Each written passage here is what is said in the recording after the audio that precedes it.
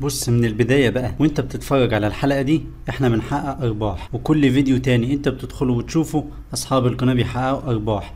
وكل موقع بتزوره في ناس بتحقق أرباح. وكل إيميل بتقراه أو تبعته في ناس بتحقق أرباح. ده حتى كل عملية بحث على جوجل بتعملها في ناس بتحقق أرباح. كل ده ولسه مفكر إن تحقيق ربح من الإنترنت مش حقيقي. ولسه بتفكر الموضوع يستاهل ولا لأ؟ طب أبدأ ولا لأ؟ طب هعرف احقق زي الناس دي؟ ولا الموضوع صعب ومحتاج دراسات ومهارات وخبرة وشهادات وفلوس؟ مفيش الكلام ده خالص. طرق الربح كتير كل طريقة ليها متطلبات. وزي ما في حاجات صعبة قوي ومش أي حد يعملها في برضه شغل سهل ويقدر أي حد يعمله. لكن ما تنساش إنه شغل. وبأكد وأقول تاني شغل.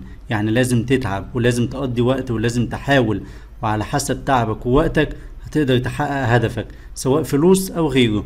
الناس اللي أصلا مش بتستحمل تسمع أو تشوف فيديو مدته عشر دقايق منين هيجيب صبر إن هو يتعلم طريقة ربحية ويطبقها وهيقابل عقبات بقى في سحب الأرباح في إن الأرباح اتأخرت عليه أو طرق السحب مثلا مش مفعلة في بلده فلازم إن هو يتصرف وكل الحاجات دي. وفي كل خطوة هيقابلها هيبقى فيها مشكلة أو تحدي لازم إن هو يشوف لها حل. فعلا لو أنت بتفكر إن أنت تشتغل وتحقق أرباح من الإنترنت الحلقة دي هتفرق معاك ومش هتخسر حاجة هم مجرد عشر دقايق.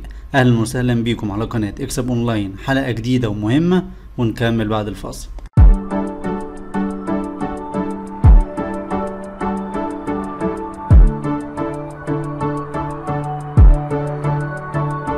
عايز تعرف إزاي بدأنا شغل وقد إيه كان في محاولات فاشلة وفلوس خسرناها في التجربة في المواقع وخصوصا المواقع الاستثمارية؟ كل ده بسيط ممكن نجمعه في حلقة ونشوف قد إيه مواقع كانت جاهزة إن هي تتشرح وعملنا فيها إيداع لكن في الآخر قفلت. وبعد وقت وبحث واهتمام أكتر واستثمار بقى في متجر إلكتروني وده بقى مصدر أساسي للدخل موقع للتسويق. كل ده مش من فراغ. عموما كل واحد وحسب اهتمامه. وزي ما قلنا لو أنت ما عندكش صبر تشوف الحلقة يبقى انسى الربح من الإنترنت أصلا وريح دماغك. أول نقطة لازم تعرفها اللي هي التركيز. فعلا أهم واول نقطة لازم تركز أنت عايز إيه وهتحققه إزاي. في طرق كتير ربحية ومفيش طريقة مش محتاجة منك شغل ومجهود. حتى الطرق البسيطة خالص زي مشاهدة الفيديوهات لازم تقعد وتشغل فيديوهات عشان تحقق ربح. عايز تعمل موقع يبقى لازم تتعلم تكتب مقالات. عايز تعمل متجر إلكتروني يبقى لازم استضافة متاجر إلكترونية. هو ده التركيز إنك تختار طريقة واحدة تركز فيها وتتعلمها وتتقنها.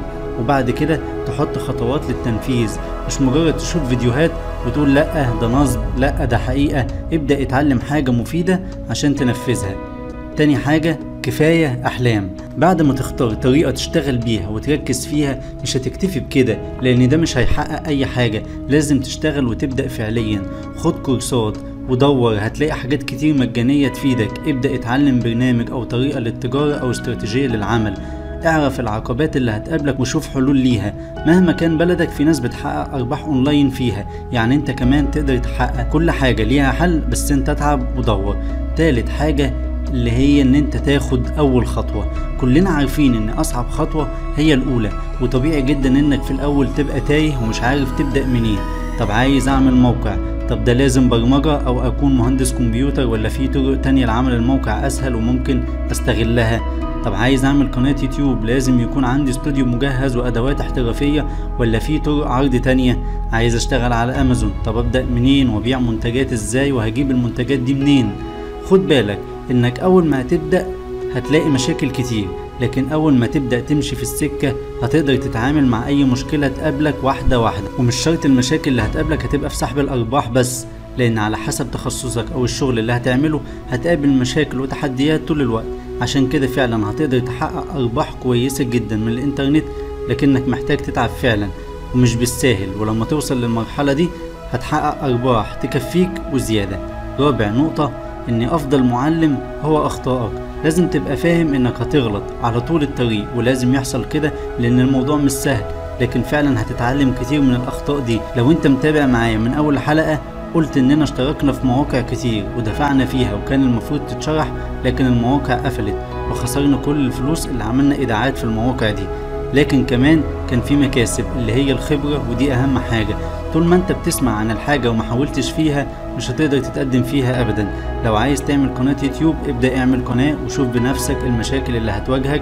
لو عايز تعمل موقع ابدأ اعمله وشوف هتحتاج إيه وايه اللي ناقصك عشان تعمل الموقع اللي انت عايزه. وانت في الموضوع نفسه هتاخد أفضل خبرة من أي حد يحكي لك عن الموضوع. لكن انت المفروض تجرب بنفسك. ولو شفت حلقات الطرق الربحية دايما بنقول جرب ومش هتخسر حاجة. التجربة دي عبارة عن خبرة انت بتاخدها. حتى لو موقع ما فتحش معاك. اديك عرفت ان في مواقع مثلا غير مدعومة ولازم لها طريقة معينة علشان تفتح. لكن للأسف بعد الأفكار المغلوطة عن تحقيق الربح زي الربح في ثواني إن أنت ممكن تحقق أرباح من غير ما تشتغل أو بدون عمل أو بدون أي حاجة. للأسف هو ده الفكر السائد في البلاد العربية عموما وده مستحيل. فعلا الناس مش بتطيق مداومة كورس عشان تتعلم أو محاضرات أو تطبيق عملي وكله بيميل للربح السريع. علشان كده محدش عنده صبر يتعلم طريقة أو يشوف حاجة للكامل أو يدور إن هو يشوف حل مشكلة معينة. خامس نقطة إيجاد الحلول السريعة. أنت تعرف إن أنت لو صدقت كل كلمة بتسمعها في الحلقة دي هتفرق معاك جدا. لأن نظرتك للموضوع هتتغير وهتعرف إنك فعلا لو اتعلمت حاجة معينة وركزت فيها وأتقنتها هتقدر تشتغلها بأكتر من طريقة واتكلمنا في الموضوع ده كتير. تخيل لو قدرت تعمل موقع وأتقنت الموضوع ده مش هيبقى سهل عليك بعد كده إنك تعمل التاني والتالت مش هتفكر تعلم الناس إزاي تعمل مواقع. تخيل لما تقابل مشكلة شائعة زي الناس اللي مش مدعوم في بلدها مثلا بنك بيبال. طب هتسحب الأرباح إزاي؟ أمال الناس اللي بتشتغل في نفس البلد معاك وبتسحب أرباحها دي بتاخد فلوسها إزاي؟ الفكرة كلها إنك ما حاولتش تتعب وتلاقي حلول. ما جربتش تنزل في بلدك كده وتسأل في البنوك هل ده مدعوم؟ هل أقدر أسحب عن طريق بيبال؟ هل أقدر أسحب عن طريق الفيزا الفلانية؟ مش بتعمل كده أصلا. بتيجي تستسهل وتيجي تقول لا الحل ده صح الحل ده غلط الطريقة الربحية دي شغالة الطريقة الربحية دي مش شغالة الكلام ده نصب والكلام ده. وتلاقي بعد كده إن الحل كان بين إيديك بس الكسل هو المشكلة. أو بمعنى أصح أنت مشكلة نفسك. لازم تدور على حلول وموجودة وخليك عارف كويس جدا. طالما حد غيرك بيعمل الحاجة دي يبقى أنت كمان هتقدر تعملها ومفيش حاجة تمنعك. عشان تبقى عارف كمان أي حاجة تتخيلها دلوقتي متاحة على الإنترنت. يعني مثلا عايز تتعلم تعمل موقع موجود قناة موجود متجر إلكتروني موجود تداول عملات موجود تقدم خدمات موجود تسويق بالعمولة موجود. وقلنا قبل كده الطرق الربحية معروفة لكن التفرعات اللي طالعة منها دي هي اللي كتير. لكن الطرق الربحية كلها قسمناها قبل كده وعملنا حلقة إن هي طرق أساسية وثابتة والباقي ده تفرعات منها. نيجي للنقطة السادسة اللي هي الخبرة. قلت لك من شوية لو انت مركز في الكلام في شغل كتير مش محتاج خبرة على عكس مفهومك عن الشغل ده. يعني اللي بيعمل موقع مش لازم يكون يعرف سطر واحد برمجة لأن في منصات أسهل بكتير بتقدر إن أنت تعمل من خلالها موقع من غير ما تستخدم أي برمجة خالص. وكل ده اتشرح قبل كده في القناة زي كورس الورد بريس. ده غير إنك لما تدخل في شغل وتبدأ تدرسه وتتعلم فيه هتاخد خبرة أحسن من أي حد تاني بيكلمك عنه. يعني أنت في الأول هتتعلم وبعد كده هتطبق وتاخد خبرة عملية والموضوع هيبقى أسهل. وكمان لما هتاخد خبرة في طريقة شغل ده هيساعدك في أشغال تانية على الإنترنت. بمعنى إن الموضوعات كلها متداخلة. يعني لما تعرف تسحب فلوسك من شغل أونلاين لحد ما توصلك ده شيء مشترك بين كل الطرق الربحية. وتبقى عرفت إزاي أي موقع أو طريقة تحقق منها ربح. هتاخد فلوسك. إزاي لما تتعلم تعمل اس أو اللي هو تحسين محركات البحث هتلاقيه إن هو داخل في كل حاجة سواء مواقع أو قنوات يوتيوب أو صفحات تواصل اجتماعي أو حتى البيع على أمازون. وكل حاجة هو ده المقصود إنك لما تتعلم حاجة هتستغلها في حاجات كتير. سابع نقطة ودي آخر نقطة اللي هي الاستمرارية. أكبر خطر على أي حد وأكبر غلطة بتحصل إن هو بيبدأ الشغل في الأول وبيكون متحمس. وواحدة واحدة بيبدأ الحماس ده يقل أو يروح خالص وبالتالي مش هيبقى فيه أي شغف بالموضوع ومفيش تطوير وحتى لو كان الموضوع أو الطريقة بدأت تمشي معاه. كل ده هيتراجع عشان كده لازم دايما تستمر في التطوير وتتعب على شغلك وعلى قد ما تقدر والنجاح مش فلوس ولازم تبقى واثق من ده حتى لو مش هتصدقه دلوقتي لأنك محتاج فعلا تكتشف ده بنفسك إن النجاح مش كله فلوس وإنك ممكن تعمل حاجات أهم وليها قيمة أعلى غير الفلوس. دلوقتي مش عايز منك غير حاجة واحدة. من فضلك. لو الكلام ده فارق معاك وفعلا عايز تشتغل مجرد تعليق قول لي الفكرة اللي عايز تعملها بطريقة مختصرة وواضحة. على الأقل هساعدك بمواقع وأدوات تتعلم منها اللي أنت عايزه. أو حتى أوفر عليك وأقول لك مفتاح الطريقة دي هيكون إيه علشان تنجز وما ياخدش منك وقت. ده فعلا الهدف من الحلقة.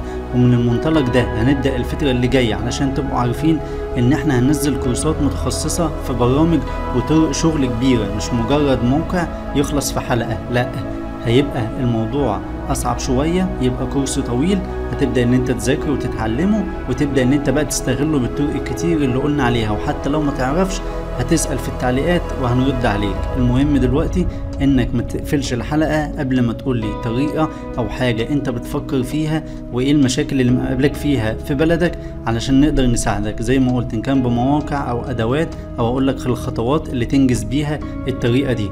نتمنى التوفيق للجميع. دمتم بخير ونشوفكم الحلقة الجاية.